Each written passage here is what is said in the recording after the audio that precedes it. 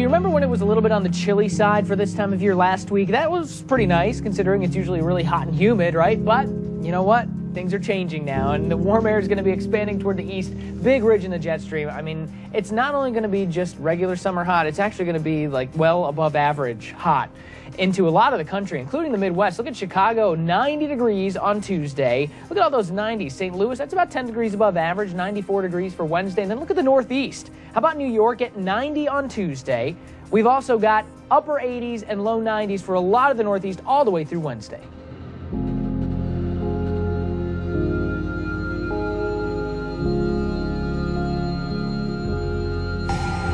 You're looking at a big wave from Hurricane Fred as it was hitting the Cape Verde Islands, not only through the weekend, but also on Monday, those palm trees swaying around. Uh, this has been a really unique system, okay? Very interesting meteorologically because usually when we talk about Cape Verde season right here where we are in the core of Atlantic hurricane season, we're talking about these waves coming off the west coast of Africa. Just usually a wave of energy when it's moving through those islands, and then eventually down the road it could become something like a tropical storm or a hurricane. But the unique thing about this situation was that was actually a hurricane when it was actually over the Cape Verde Islands. Now, it's been downgraded to a tropical storm. That was pretty much the main show with Fred. Yeah, pretty interesting stuff, but from here on out, just about a zero chance it's going to affect the lower 48.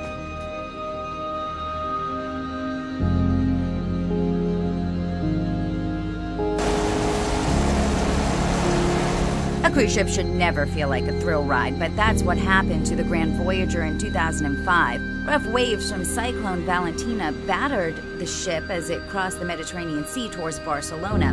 One wave knocked out the ship's control systems, leaving the cruise liner at the mercy of the sea. And the sea was merciless, causing the ship to tip so far you could see the bottom of it. This sickening motion went on for hours. Several people were injured. The most serious was a broken leg. The ship finally made it back to shore with the help of tugboats. I'm meteorologist Domenica Davis, The Weather Channel.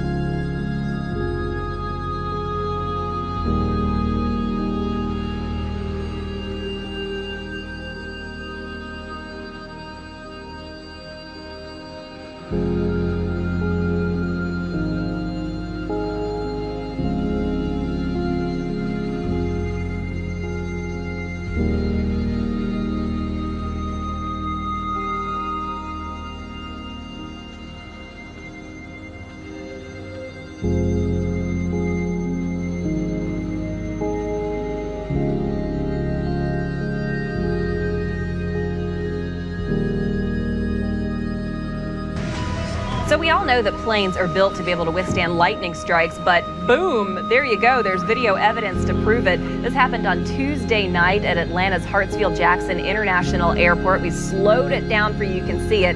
It really is incredible imagery. No wonder there was a ground stop for the area. Atlanta has been inundated with a lot of rain and lightning throughout the week.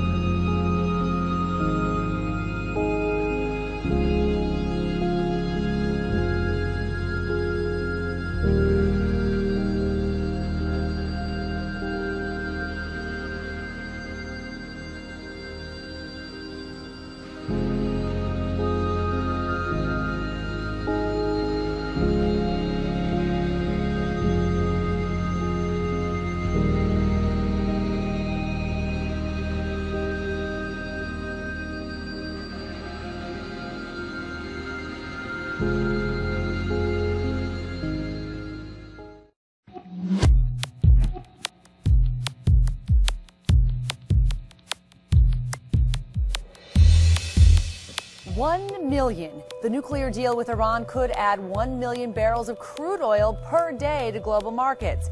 That's at a time when there's already a huge supply glut.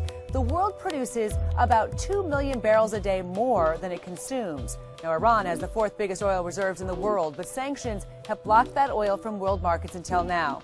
It'll take a while for Iran to ramp up production, but even a modest increase could send oil prices down and gas to $2 a gallon again.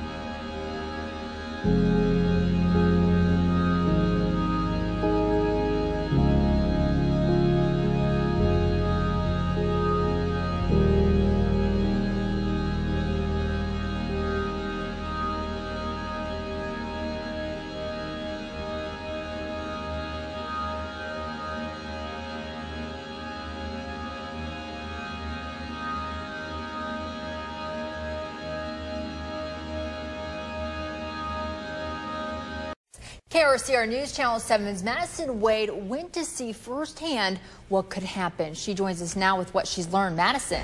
Yeah, Allison Mike, according to seismologists, geologists locally and internationally, the big one will happen. It's not a matter of if, it's actually a matter of when. A geologist at Shasta College in Redding tells me the article lays out a good foundation of what's going on, but there's more that people should be aware of.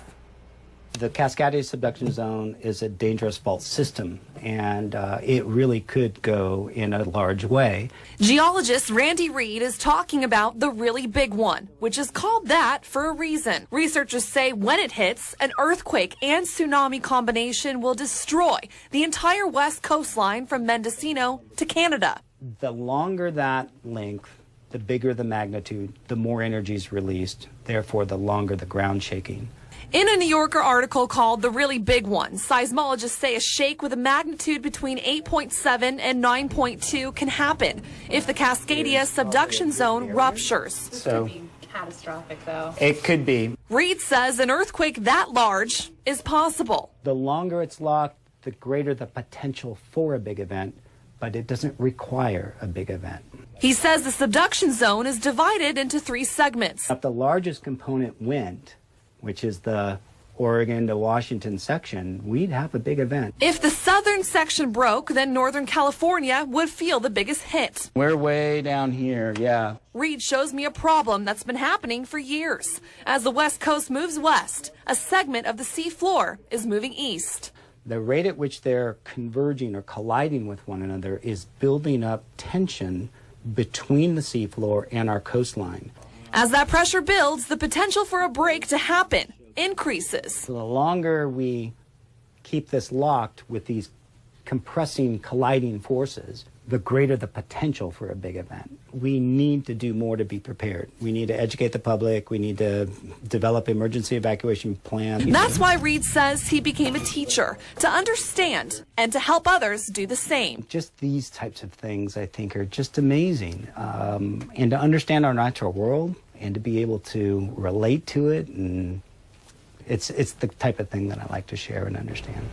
Reed says if any segment of the Cascadia subduction zone was to break, then Shasta County would shake. He said depending on the magnitude, it wouldn't be devastating, but homes on poor foundation would have some problems. Madison Wade, KRCR, News Channel 7.